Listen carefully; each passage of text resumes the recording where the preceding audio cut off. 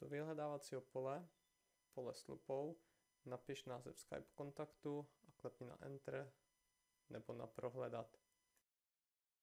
Vyhledávání pomocí Skype kontaktu je ideální, protože výsledky hledání se omezují na minimum. Přes nějaké jméno, příjmení by jich bylo příliš mnoho k efektivnímu vyhledání požadované osoby. Zvol jeden z nabízených kontaktů a dej přidat do kontaktů. Tím se objeví v tvém kontakt listu. Další možností, jak se někoho přidat do kontakt listu, je klepnout na poslední, pokud už ti někdy psali, volali, klepnout na něj a buď jejich žádost přijmeš nebo zamítneš. Přijmutím se objeví v tvém kontakt listu. To byly dva základní způsoby, jak si přidat lidi do kontaktu.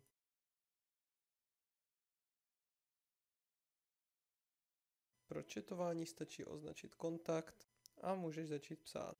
S vybraným kontaktem můžeš začít videohovor, hovor, tedy telefonický hovor bez obrazu, nebo konferenční hovor. Zde si rovnou navolíš všechny, které chceš.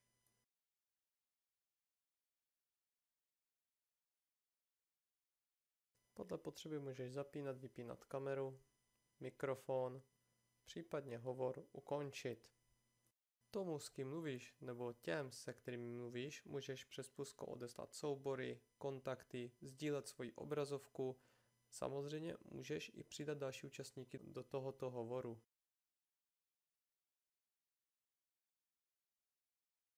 Okna s účastníky hovoru se postupně řadí vedle sebe. Pokud máš při sdílení obrazovky víc monitorů, vybíráš, který budeš všem účastníkům videokonference dílet. Rovněž můžeš všem účastníkům videokonference poslat soubor nebo víc souborů ze svého disku.